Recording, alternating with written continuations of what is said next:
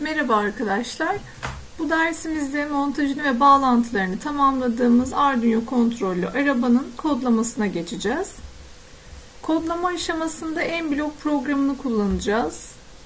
Burada tabi farklı alternatiflerimiz de var. Arduino IDE kullanabiliriz örneğin. Ama temel için, başlangıç için en blokla başlayabiliriz. Arayüzü önceki programlarımızdan da biliyoruz sahnemiz, kod bloklarımız ve hazırlayacağımız programın yer aldığı sağ tarafta bulunan bloklar ekranı. Daha önce kullanmış olduğumuz kuklaları veya arka plana eklediğimiz alt sekmede aygıtlar başlığını kullanacağız bu programda. Aygıtlar başlığı programımda yer alan kod blokların kullandığım Arduino'ya göre, Arduino'nun modeline göre ya da diğer aygıtlara göre değişmesini sağlayan, arayüzü değiştiren ve kodlamayı kolaylaştıran bir bölüm. Hemen ekle diyorum. Aygıt kütüphanesi açıldı. Buradan kullanmış olduğum Arduino'nun modelini seçiyorum. Gördüğünüz gibi kod blokları değişti. Sensörler, pinler, Yine olaylarda yer alan Arduino başladığında kod blokları geldi.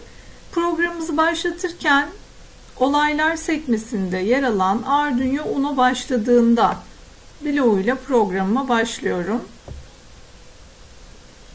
Daha önceki programlardan da hatırlayacağımız gibi kodlarımı belirli bir şarta bağlamadıysam ve sürekli çalışmasını istiyorsam programımın kontrol bölümünden sürekli tekrarla kod bloğunu kullanıyordum. Böylelikle herhangi bir şarta bakılmaksızın sırayla tüm kodlarım sürekli olarak çalışıyordu.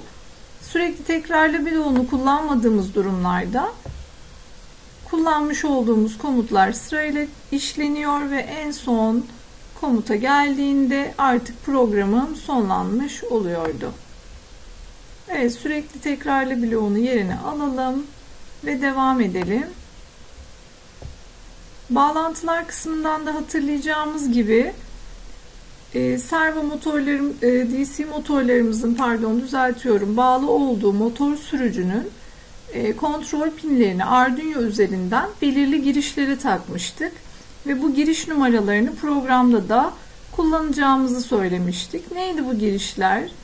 8 numaralı, 9 numaralı, 10 ve 11 numaralı pin girişleriydi. Bu pinler aracılığıyla tekerleklerimin yönünü yani DC motorlarımın da ileri geri hareketlerini kontrol ederek e, arabamın aslında hareketini sağlamış olacağım.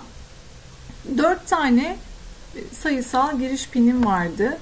Bunları hemen programıma ekliyorum.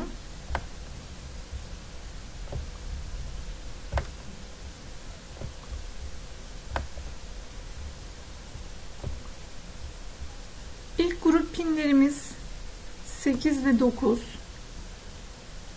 İkinci grup pinlerimiz 10 ve 11'di.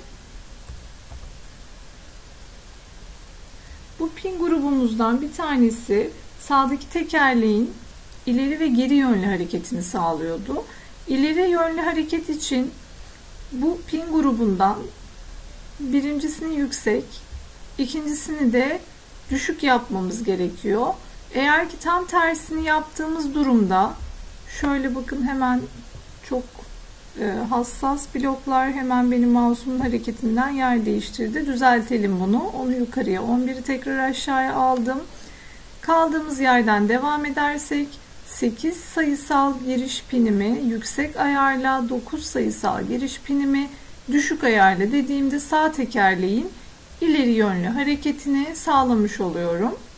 Yine aynı şekilde sol tekerlek için 10 ve 11 numaralı giriş pinlerimden 10. pini yüksek, 11. pini de düşük ayarladığımda senkron bir şekilde her iki tekerleğin ileri yönlü hareketini sağlamış olacağım. Hemen kablomuzu bağlayalım ve e, arabamızın hareketini izleyelim.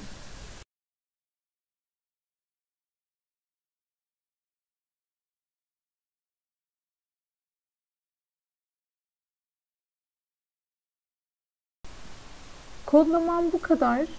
Ee, şimdi Arduino bağlantımı yapabilirim.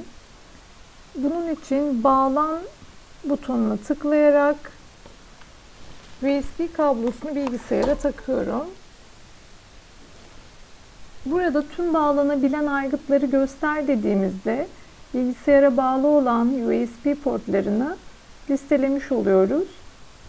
Benim bilgisayarımda COM10 diye listelenen Arduino bağlantısını seçerek bağlana tıklıyorum. Bağlantım gerçekleştikten sonra hazırlamış olduğum kodların Arduino'nun hafızasına da aktarılması gerekiyor. Bunun için yine bağlanın hemen üzerinde yer alan yükle butonuna tıklıyorum.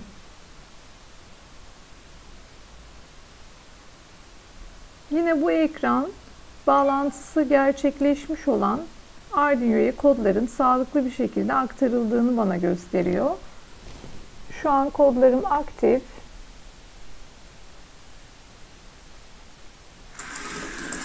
Ve arabamı test ederek çalıştığını görüyorum.